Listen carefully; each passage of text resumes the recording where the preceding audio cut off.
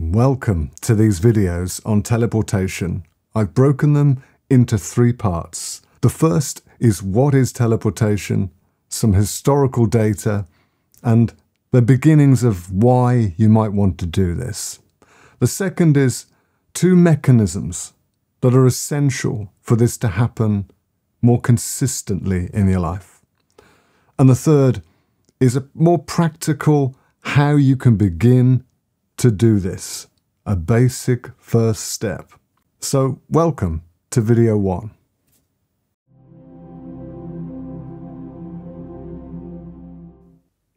Teleportation is the movement of your being from one place to another. Sometimes that involves taking your body with you, so you actually physically relocate somewhere else. Sometimes just your consciousness goes somewhere else. Your body remains where it is, but it's like you can see yourself in another place. Sometimes in those situations, other people are aware that you're there and may even see you in some fashion there, yet your body remains where it originally started. You could also include in this the phenomena of walking through objects, people, walls. So clearly, there's some kind of perhaps phase shift going on there where you move from temporarily and momentarily from one dimension to another, both consciously and physically. Sometimes these experiences happen and you're aware of them, Sometimes you're not aware of them, and it's only after that you calculate, work out, reason that it must have happened. This is teleportation. Many Christians and mystics have reported this phenomenon over the centuries. These are spectacular stories, and there often is an air of spectacularness to them. And yet, you see when you look at the Hebraic scriptures, although far from everyone was constantly experiencing these things, it appears much more normative, much more, yes, that sort of thing happens to those who want to seek God and move in those realms. One clear story in the scriptures, the book of Acts, is Philip when he is transported. He is in one place, he's in Israel, and he's moved to somewhere, probably in Egypt, and he's taken to a road as he's waiting. A chariot comes by with an Ethiopian in who's high up in administrative authority in the land he comes from. And the man asks him about a passage in Isaiah, not understanding it. Philip is able to explain it to him. He, the Ethiopian has an encounter with God and makes a decision to believe that the man Jesus was the Christ to come. In that story, it's not so much that Philip is transported and then he's transported somewhere else after this story. He doesn't have to walk back all the way to Israel. The focus of the story is the Ethiopian and his hunger for God, and the fact that Philip is brought by the Spirit near him in an unusual way to explain to him what he's reading. That's the focus. It's the focus of the love that wants to tell people truth. And by the way, he's transported, he's teleported.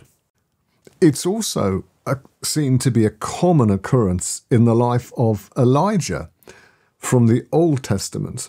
There's a moment where he is teleported right in front of an official who is looking for him, who the king has sent to find him, and he suddenly appears on the road in front of this official. The official is startled and interacts with Elijah telling him the message and receiving an answer from Elijah. And then Elijah promises to stay and meet the king. And in the story, the official is even frightened that even after this interaction, Elijah will disappear And so he will not be able to make the appointment with the king, and this official will be in trouble. So it's a known thing, a common knowledge that Elijah would move this way, would be teleported this way. In fact, the scripture's report is by his follower, Elisha, who sees him caught up in a whirlwind and he's taken bodily into the whirlwind and, and vanishes, goes into another realm. This follower, Elisha, then goes back towards civilization and he meets the band of followers who would be hanging around normally with Elijah. And he says to them, Elijah's gone. And the followers say, well, no, maybe we should search the mountains in the area or other places because maybe God has taken him to these mountains. Maybe God has taken him to that place. In other words, it was a known experience that he would do teleportation. And then we take the life of Jesus.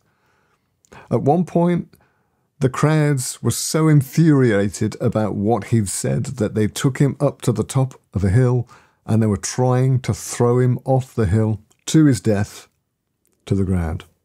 And it's, the, it's reported that he simply walked through them.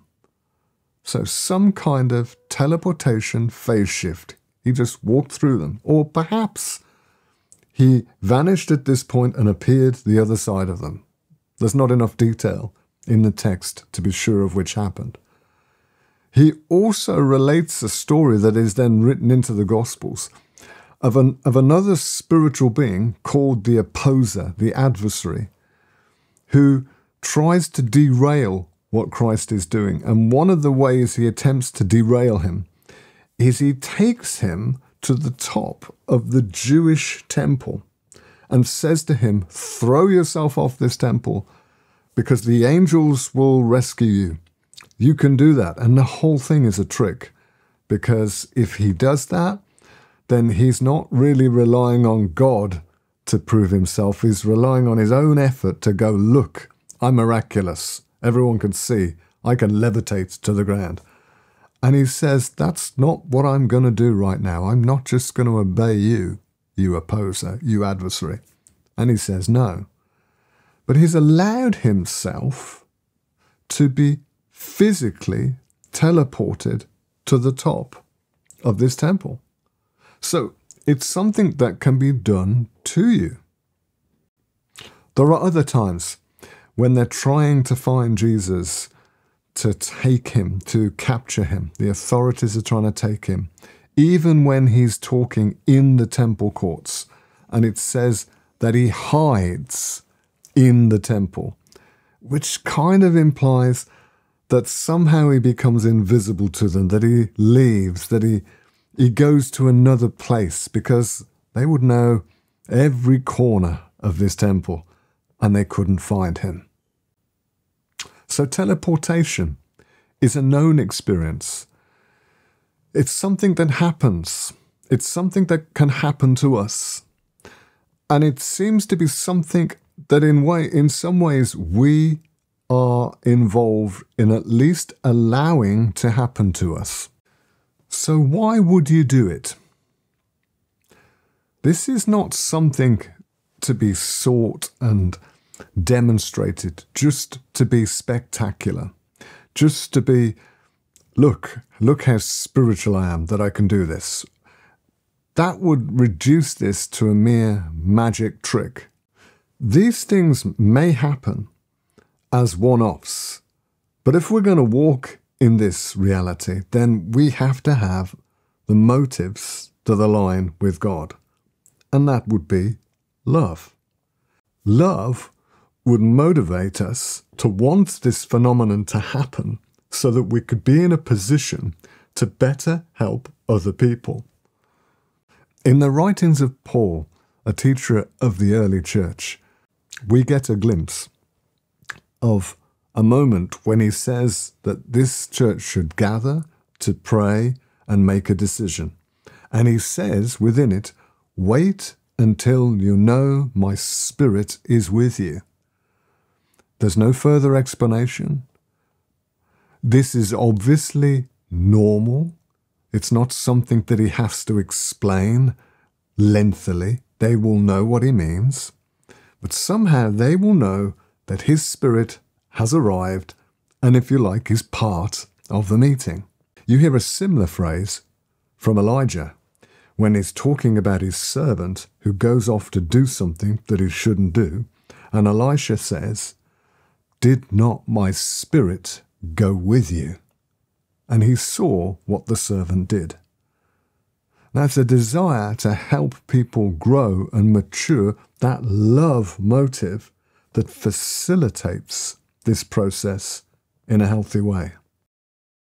If you've enjoyed this video, then you'll find the link to video 2 here and down below.